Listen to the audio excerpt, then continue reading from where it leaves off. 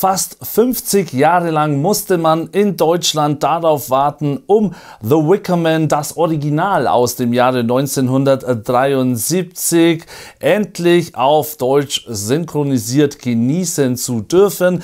Birnenblatt veröffentlicht den Film ab dem 10. Dezember 2021 nach einer aufwendigen ja, Restaurierungsarbeit, was Musik, Hintergrundgeräusche und Ton betrifft betrifft. Es mussten neue Sprecher natürlich nach so vielen Jahren engagiert werden und zwar Sprecher, die jetzt nicht hier wie aus der billigsten Pornosynchro klingen, sondern gestandene Sprecher. Es mussten Teile äh, der Umgebungsgeräusche nachgebaut werden, verfremdet werden, damit sie alt, äh, damit sie auch so altertümlich klingen. Auch natürlich äh, die Texte selber durften nicht zu modern klingen. Man merkt schon, hier wurde sehr viel Herzblut reingesteckt. Deswegen hebt hebt diese Edition sich auch preislich etwas mehr ab als von den bisherigen Veröffentlichungen, die man in so einer Mediamarkt und Saturn exklusiven schicken Piece of Art Box kennt. Wir haben den Film vorliegen, erstmals auf Deutsch synchronisiert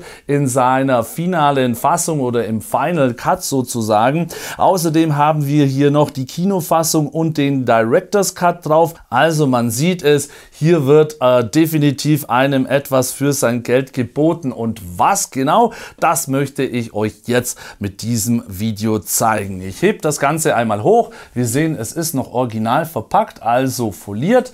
Wir haben hier unten einen Sticker mit dem FSK-Sticker 16 drauf. Dann haben wir eben den Hinweis, ein Film mit Christopher Lee, äh, Edward Woodward, Britt Eckland unter der Regie von Robin Hardy. Dann haben wir hier nochmal den Titel und hier unten haben wir dann nochmal mal, was sich denn alles hier drauf befindet auf den einzelnen Disc ja, und ein Blu-ray und ein Kompakt-Disc-Logo für eben den Soundtrack. Jo, so viel einmal dazu, dann würde ich sagen, machen wir das Ganze auf. Vor uns liegen haben wir dann diese schicke Piece of Art Box mit einem fantastischen gezeichneten Artwork. Den Künstler zeige ich euch nachher auf der Rückseite des technischen Datenblattes, weil ich weiß nicht genau, wie man ihn ausspricht und bevor ich es verhunze, lasse ich das lieber aus Respekt sein. Gucken wir uns doch äh, stattdessen lieber mal die Box selber an. Ja, die kommt so, es ist nicht weiß, es ist eher so leicht cremefarben. Das gefällt mir ganz gut. Auch die Zeichnung hier sieht fantastisch aus. Unten links haben wir dann den Titel, wieder mit einer Relief-Lackierung, so leicht erhaben. Ja, fühlt sich sehr gut an. Dann gucken wir uns mal den Spine an. Sehr schlicht und sehr aufgeräumt. Wirkt sehr gut. Hier The Wickerman auch nochmal mit diesem Relieflack versehen. Auch der hier leicht erhaben. Dann haben wir eben die Rückseite. Hier haben wir das angesprochene technische Datenblatt. Ich hebe es einmal nach oben.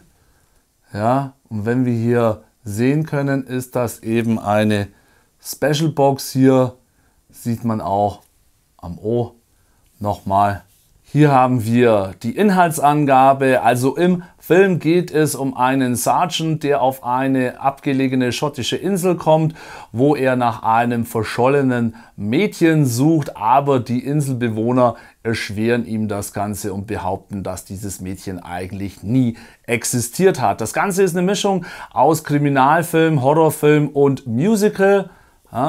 Hier haben wir dann die Limitierungsnummer 101 oder 0101, sehr schön, limitiert auf 1000 Exemplare. Zu den technischen Daten sei gesagt, dass der Film eine Lauflänge von ca. 93 Minuten hat. Wir haben den Film hier in Full HD vorliegen, außerdem einen deutschen und englischen Ton. Ja, eine genaue Bezeichnung jetzt hier, Info, in welchem Format der Ton vorliegt, haben wir nicht draufstehen. Und dann haben wir eben noch die Hinweise, dass wir als Bonusdisk die Kinofassung mit dem Director's Cut drauf haben und als zweite Bonusdisk dann den Soundtrack. Dann wollen wir mal dieses technische Datenblatt entfernen. Ja, haben hier oben typisch wie immer noch einen Spruch zum Film mit draufstehen.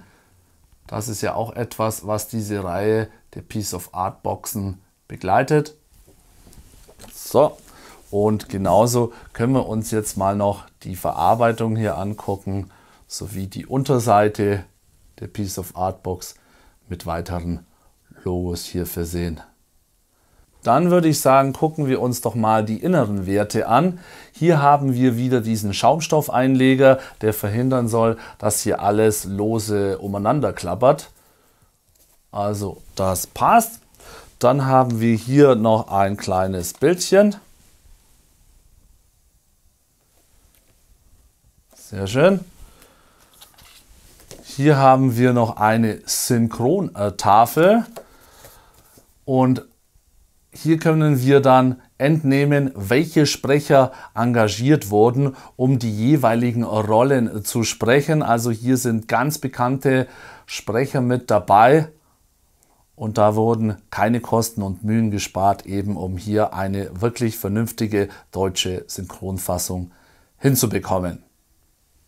So, dann haben wir hier noch weitere Artcards.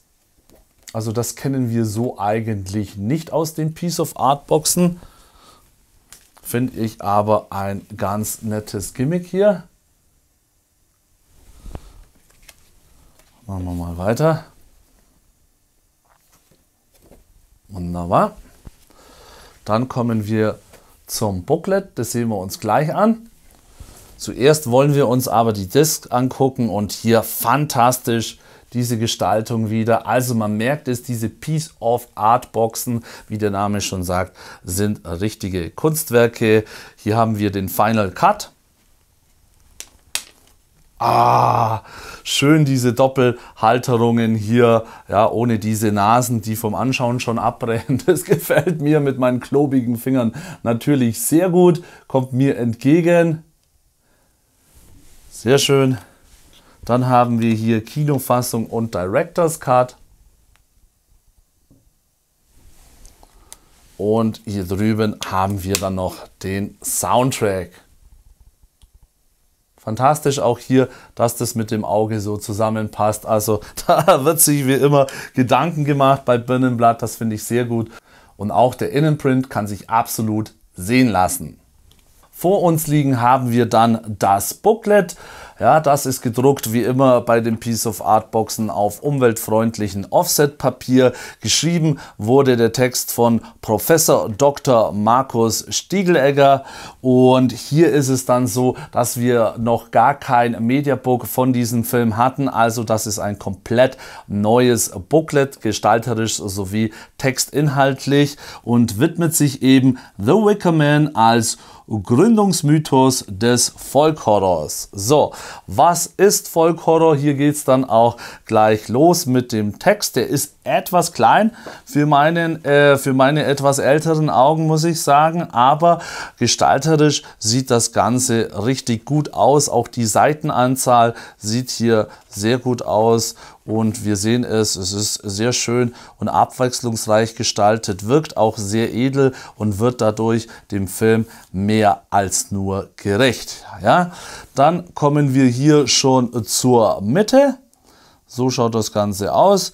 Der mühsame Weg zur Leinwand. Hier unten haben wir dann auch immer noch, oh, bei welchem Kapitel wir uns befinden, bei der Seitenanzahl stehen. Wir haben schöne Bilder hier. Christopher Lee mit Regisseur Robin Hardy. Dann geht es hier weiter um die vielen Gesichter des Weidenmannes.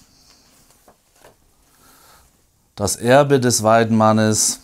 Es gab ja auch mal ein Remake, ja, und hier haben wir noch weitere Hintergrundinformationen. Also man sieht, dieses Booklet bietet einen fantastischen Mehrwert. Außerdem haben wir auch noch die Quellenangaben, so wie das sein muss.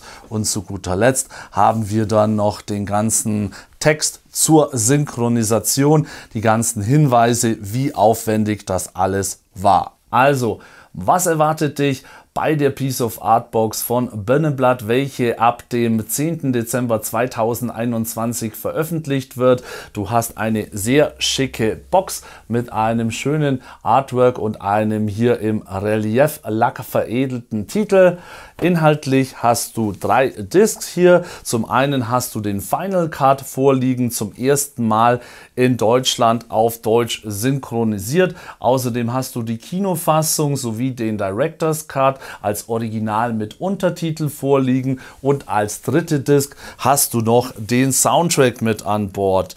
Dann hast du eben noch dieses schicke Datenblatt mit der Inhaltsangabe. Wir haben ein schönes Booklet noch mit am Start, das ich dir so eben gezeigt habe. Dann hast du noch drei Postkarten mit am Start, die ich dir eben gezeigt habe. Außerdem hier noch eine Synchrontafel sowie ein kleines Bildchen und eine Schaumstoffhalterung, damit das Ganze hier nicht lose hin und her wackelt. In diesem Sinne hoffe ich, dass ich dir einen guten Einblick gewähren konnte, was dich denn bei der Piece of Art Box zu The Wicker Man erwartet. Wenn ja, schreib es mir in die Kommentare, lass gerne einen Daumen nach oben da und auch ein Abo, falls noch nicht geschehen. In diesem Sinne, danke fürs Zugucken, auf bald meine Freunde, bleibt gesund und Servus.